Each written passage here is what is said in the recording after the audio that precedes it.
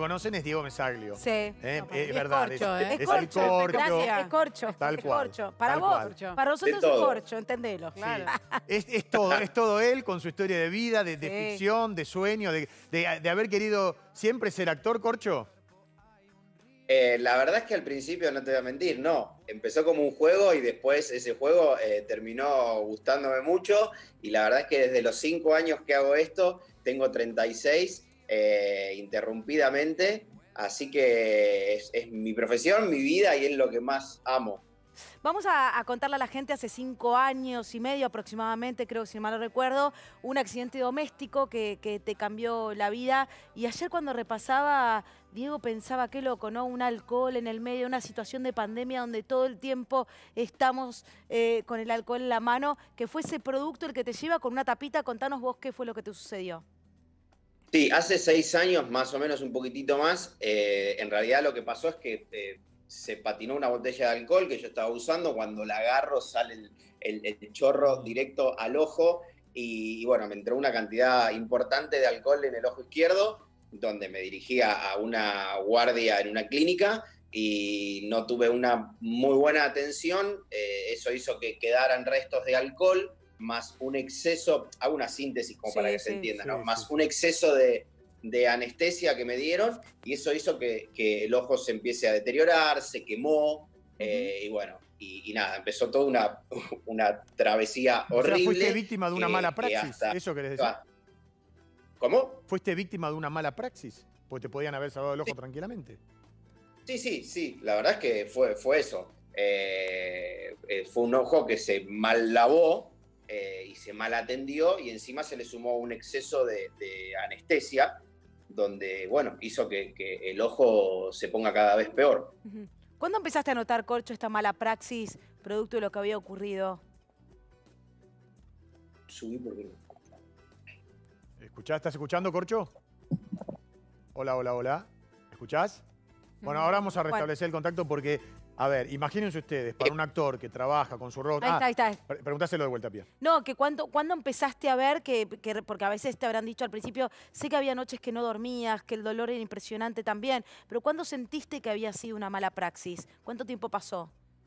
No, pasó, pasó más o menos un mes y medio, dos meses desde el accidente, que fue cuando llego, gracias a Dios, a, a la doctora Arana, que me lleva automáticamente al hospital de clínicas y, y el, el equipo de Federico Cremona y todo su equipo eh, llegan a la conclusión de que eh, había un químico que fue lo que me quemó eh, y ese químico fue el que me dieron eh, en esta guardia. Todo empezó porque, bueno, el, el ojo también eh, empezó a crear una reacción alérgica, eh, que fue como el, el dicho este, el que, el que se quema con leche ve la vaca y llora. Bueno, fue lo mismo.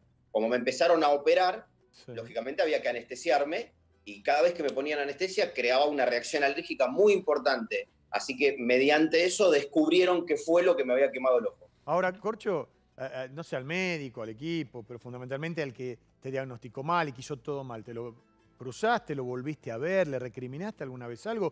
Porque perdiste tu ojo. Eh, más allá de que seas actor y labures con tu cara, nada, sos una persona que perdió un ojo por una mala praxis.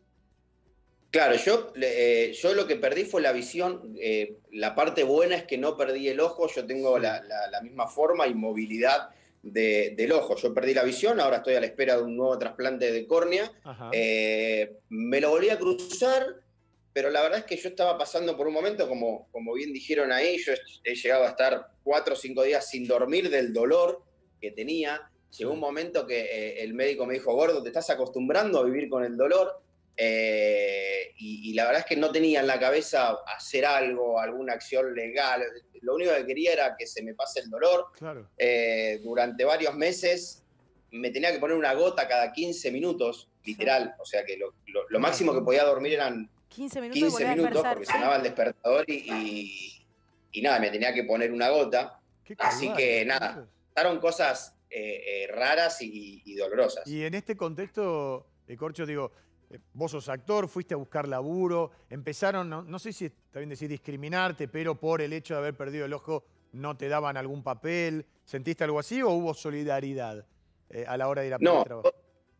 La verdad es que todo lo contrario. Yo eh, obligatoriamente tuve que dejar de, grabar. Estaba haciendo una serie, me acuerdo que se llamaba eh, El Otro con Gastón Sofriti. Tuve que automáticamente dejar porque tuve que someterme a un tratamiento extremo eh, por todo lo que me estaba pasando. Pero digo después, ya restablecido tu... Un gallo para Esculapio forma parte y hace un gran trabajo gracias a Sebastián Ortega. gran papel. Gran laburo. Claro, bueno, con un gallo volví. Después de tres años, eh, eh, en un día bastante complicado, porque me agarraban esos días de, depresión, digamos, eh, dije, no, loco, yo tengo que, tengo que trabajar, yo tengo que, tengo que hacer algo como para también la, cabeza, era un, ventilador la cabeza. Y tuve la suerte de levantar el teléfono, hablar con, con Mati Luna, que en esa época estaba en la parte de casting de Ortega, y sin saber se estaba armando todo esto, lo que era todo lo que fue un gallo para Esculapio y me dijo, negro, venite, que estamos haciendo el casting. Me mandé así como estaba, con 30 kilos más que ahora, con el ojo así. Eh, pero bueno, por un lado favoreció, porque eh, hice las dos temporadas y, nos fue súper bien. Así que, gracias a Dios, buena vuelta. Recién decías de, que estás esperando un trasplante. Contame un poco cómo es el proceso, eh, qué es lo que te dicen a partir de eso, ¿no? Porque también me parece que, es un poco de esperanza a veces cuando estos casos, yo siempre digo, a través de un famoso uno puede contar estos casos que ayudas del otro lado, ¿viste? A, a una situación muy parecida. Sí, la verdad es que yo en, el transcurso del tratamiento me hice un trasplante, lógicamente por la debilidad que tenía en el ojo, eh, lo rechacé la verdad es que se creó un, virus, como para explicarlo de una manera cotidiana, se creó un virus que el ojo rechazó el trasplante, así que nada, eh, el paso siguiente fue curar bien el ojo, dejar el ojo preparado y a partir de ahí me, sometieron nuevamente a, lista de espera de, de Kukai o Inkukai eh, para un nuevo trasplante de córnea, que es lo que estoy esperando ahora. Y te acostumbraste, digo, ¿no? Porque es difícil eh, uno se mira al espejo a diario, cuando te afeitás, cuando te peinás, cuando te salís de echar. Digo, a lo que te devuelve hoy en tu fisonomía al espejo. La verdad es que tuve mucho tiempo sin, querer pasar ni, ni, cerca por el espejo, porque ya te digo, yo en dos meses, para que te des una idea, estaba en un peso aproximado de 85 kilos y llegué a pesar en dos meses 138 casi 140 kilos. Y la verdad es que te, te, negás a todo. Tenés la cabeza negada totalmente, te agarran momentos de, depresión y todo lo que implica no querer ni mirarte al espejo.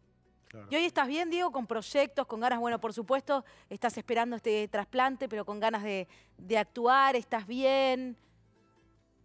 Sí, sí, yo la verdad es que hasta que arrancó esta, esta pandemia, esta cuarentena, estaba, había comenzado a grabar algunas escenas para la segunda temporada del Tigre Verón, se frenó todo, eh, pero a su vez estábamos comenzando la tercera temporada de, una obra de teatro que hacemos con Santi Steven y Alfonso Burgos, que se llama Se Alquila, estuvimos dos temporadas en Calle Corriente, y esperando que pase todo esto para comenzar a dar clases de teatro. Así que cuando termine todo esto, empezar a pleno con, el trabajo y todo lo que surja también, ¿no? Bueno, Corcho, lo, mejor, ¿quién, te acompaña? Eh, ¿Tenés pareja? Eh, ¿Con quién vivís?